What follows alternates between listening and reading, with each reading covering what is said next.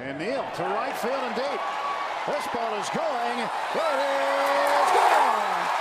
Home run, Neil Walker, three-run shot, and the Pirates lead it three to two. A new career high for Walker at home runs with 13.